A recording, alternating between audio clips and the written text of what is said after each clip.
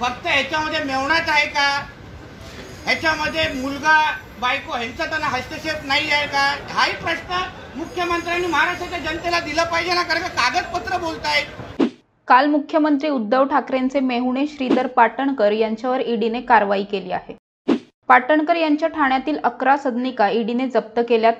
यावर भाजप आमदार नितेश राणे यांनी प्रतिक्रिया दिली आहे नंदकिशोर चतुर्वेदी ज्याच्या संदर्भात काल ईडीने अधिकृत जी त्यांची स्टेटमेंट दाखवलेली आहे त्याच्यामध्ये त्याच त्याच माध्यमातून हवाला झालेला आहे मनी लॉन्ड्रिंग झालेली आहे शेल कंपनीच्या माध्यमातून पैसे फिरलेले आहेत.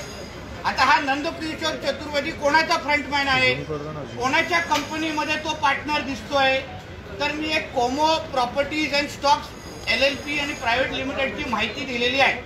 त्याच्यामध्ये मार्च दोन हजार एकोणीस पर्यंत जे काही कागदपत्र दिसत आहेत त्याच्यावर राज्याचे पर्यटन मंत्री आदित्य ठाकरे मंत्री आहेत मार्च दोन हजार एकोणीस पर्यंत. आणि त्यानंतर त्याच कंपनीमध्ये नंदकिशोर चतुर्वेदी पार्टनर दिसत आहेत.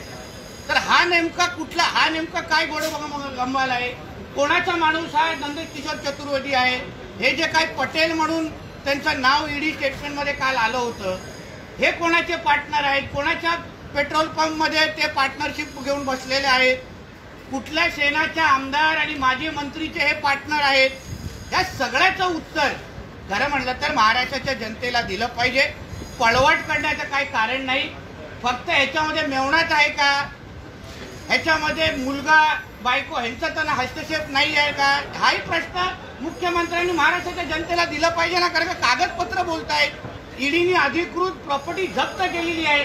आणि या संबंधित अधिकृत स्टेटमेंट खरं म्हणजे मुख्यमंत्र्यांकडून महाराष्ट्रासाठी आलं पाहिजे. नुसतं गप्प राहून संशय वाढून उपयोग होणार नाही.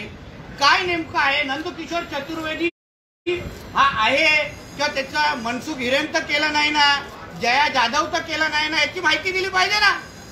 आम्हाला कळलं पाहिजे ना?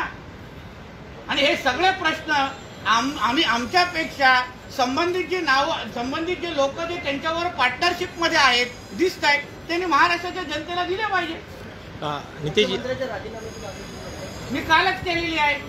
कारण का एकोणीसशे नव्याण्णवमध्ये जे जुने जाणकार पत्रकार आहेत त्यांना माहिती आहे.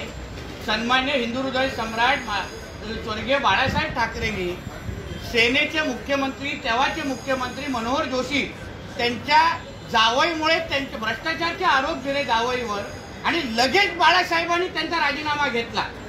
एकोणीसशे नव्याण्णव त्याच्यानंतर सन्मान्य राणेसाहेब मुख्यमंत्री झाले. आता मुख्यमंत्री म्हणून उद्धवजी ठाकरे आहे आणि त्यांच्या मेवण्यावर तसे आरोप झालेले आहेत भ्रष्टाचाराचे आणि ते सिद्ध झालेले आहेत. चौकशी नाही प्रॉपर्टी जप्त झालेली आहे. जप्त तेव्हा होते तेव्हा प्रायमरी पेशी तो क्राईम सिद्ध होतं तेव्हा प्रॉपर्टी जप्त करतात. म्हणजे ह्या ह्या कारणावरून खरं म्हणतो मुख्यमंत्र्यांनी राजीनामा दिला पाहिजे. म्हणजे मनोहर जोशी सारख्या शिवसैनिकाला एक नाही आणि उद्धव ठाकरे ठाकरे आहेत म्हणून एक नाही असं का आहे का? संजय राठोडला एक नाही आणि आदित्य ठाकरेला दुसरा नाही असं का आहे का? ते महाराष्ट्राच्या जनतेसमोर आणि मूळ शिवसेनेकांच्या समोर गेलं पाहिजे ना.